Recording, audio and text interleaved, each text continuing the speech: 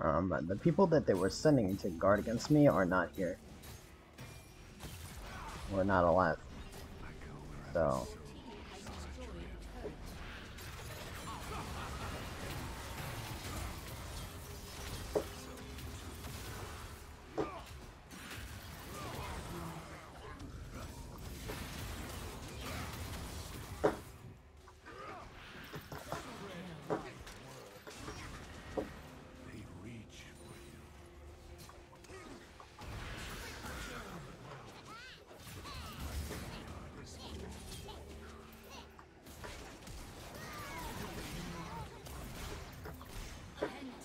Alright.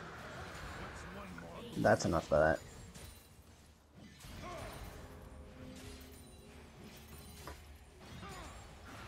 that. That's the third pentakill for you, boy this fucking season.